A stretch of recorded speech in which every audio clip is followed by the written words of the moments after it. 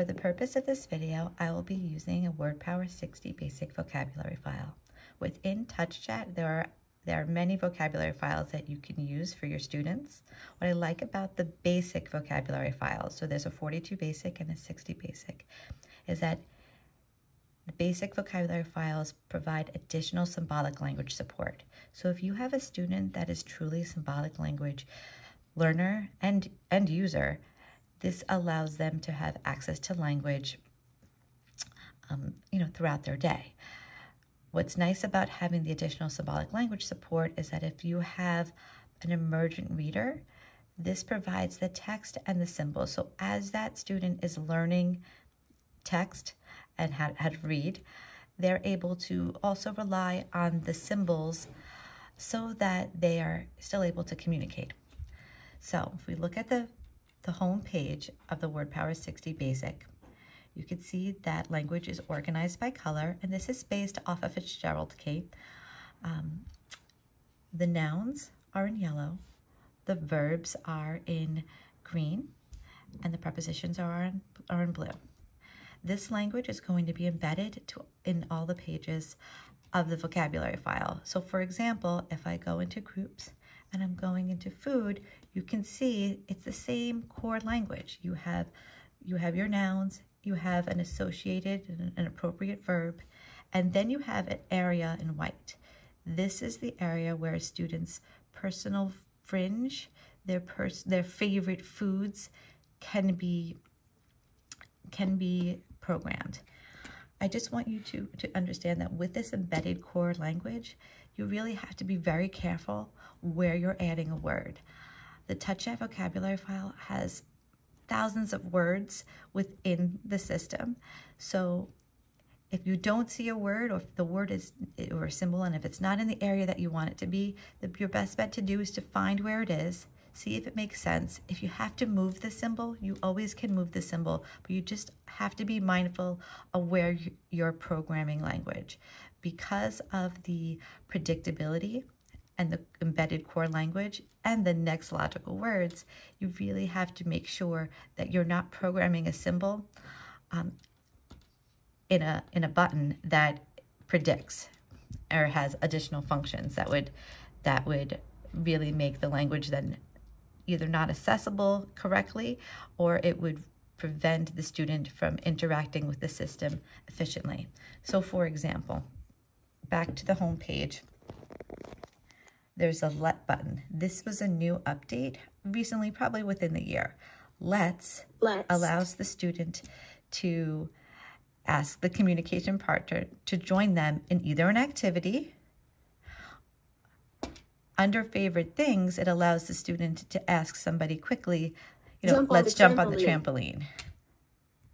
Let's. let's go back to favorite things, listen, listen to, to music. music.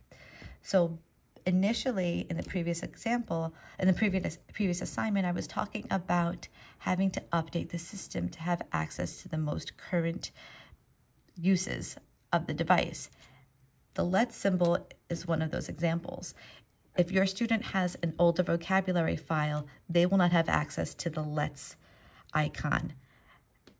So you have to really be mindful if your student is using the most updated system and you have to make a judgment call of whether those new features are beneficial for your student in their communication. So on to the next logical words. If you were to select go on that home page, it predicts some examples. It gives you some language that the student can interact with and they're not having to dig too deep into the system to communicate quickly and effectively. Let's go for, for a walk. walk. Go.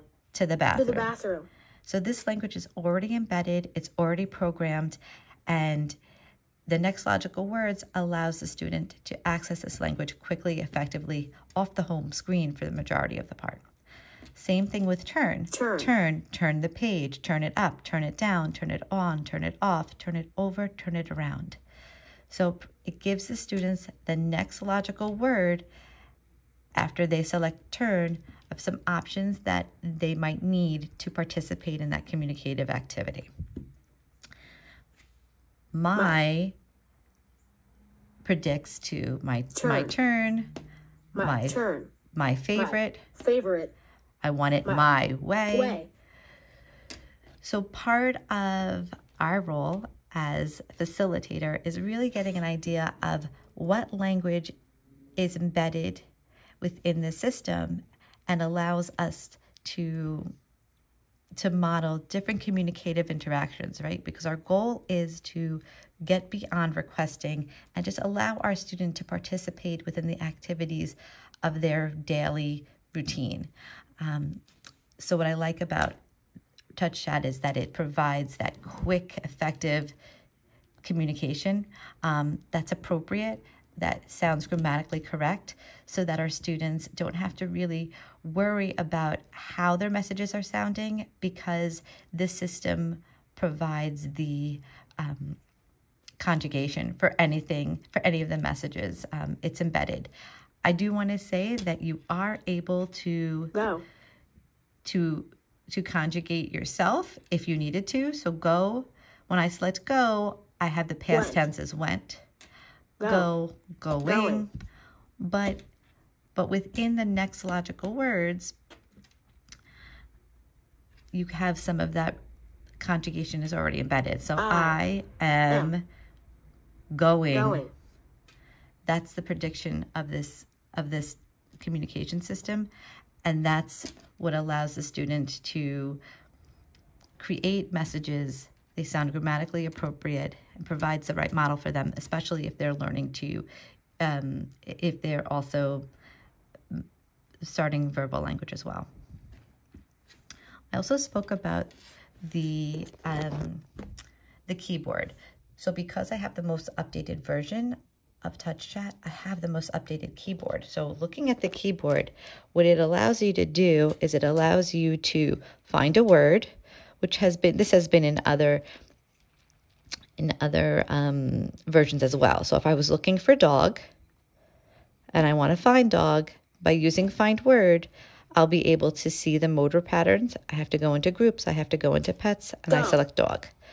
One thing that you have to note, for example, my group page, I've hidden some words, I've hidden some categories because I'm using this this vocabulary file to teach a student how to access language. If there is a symbol that's hidden, you're not going to be able to find it within find words. So you have to be very mindful of that. You may look for a word and you'll say, well, how does it not, how do we not have access to bed? You probably have access to it. Um, it's under furniture, but furniture is hidden. So you have to be aware that you have to un, unveil or unmask some, some of your category symbols so that you have access to all of the language. Back to the keyboard, there's also predictability. So if I was typing in dog, dog will, will pop up there. If I'm typing in um, food, so this is for some of our students that have the ability to use symbols and they can also use the keyboard. So if I wanted to say, I want, Want to eat, eat. and I'm not seeing what I want here, I want to be able to select food and I'm pretending it's not there, I can go into my keyboard. I have to go back home. Oh, I I want want to eat. to eat. And if I was going to type, Food. I'm able to use that keyboard to insert language where I want it to go. So I was able to finish that sentence by typing. Let's say I wanted to change and I wanted to say, I am eating food. I can use this symbol down here. This is a cursor. And now look at all the examples you have. So I can go backwards by character. I can go backwards by word. I can go to the front of the sentence. So it really allows your students to create a message and modify it without having to clear all over again, which helps our students to it helps to prevent their frustration. So I'm going to go forward and I want to say I am am I'm going to go forward again.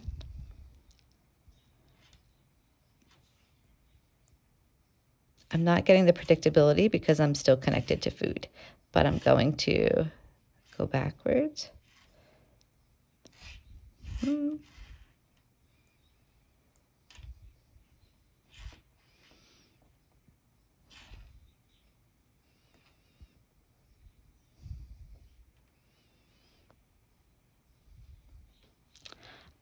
And I can say now I am eating food.